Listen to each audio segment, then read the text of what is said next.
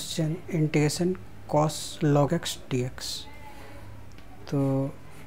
इसको हम direct integrate नहीं कर सकते हैं cos cos log x d को। तो इसमें हम इंटीग्रेशन बाय पार्ट्स यूज़ करेंगे। सन by parts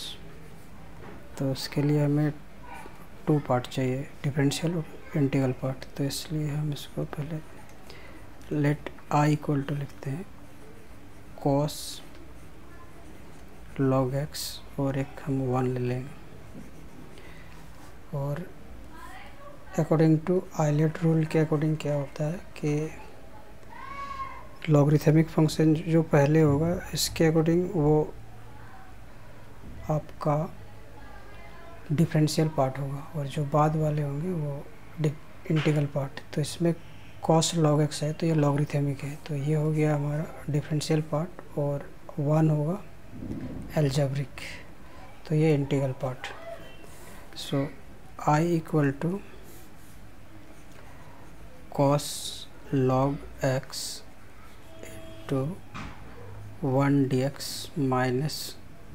integration into derivative of cos log x into integration 1 dx. So, equal to cos log x और 1 dx का इंटीग्रेशन x होगा और इसमें हम डिफ्रेंशिएट करेंगे तो चेन रूल यूज़ करेंगे। cos का होगा माइनस साइन लॉग x. और log x का होगा वन अपॉन एक्स और इस इंटीग्रेशन वन डी एक्स का एक्स सो इसमें एक्स से x कैंसिल हो गया। So integration I equal to x cos log x plus sine log x और ये वन और इसमें हम अगेन यूज़ करेंगे इंटीग्रेशन बाय पार्ट तो अगेन यूज़ करने से ये होगा x log x plus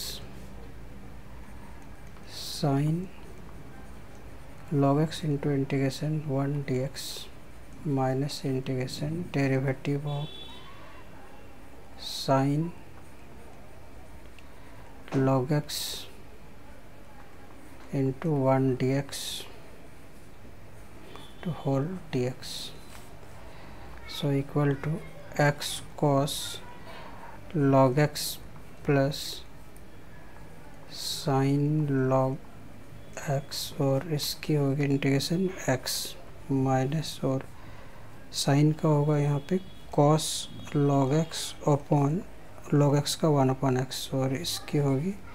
x dx so इसमें x से x cancel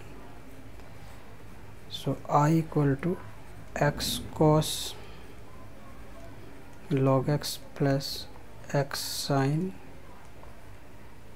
log x और ये हो गया integration cos log x dx तो इस, इसको हमने i लेट लिया था तो इसकी जगह हम i i लिख देंगे और इस i को अगर हम लेफ़्ट में ले आएँगे तो ये टू आई होगा। So two I equal to x cos log x plus x sine log x और इसमें हम x कॉमन लेंगे तो यह आएगा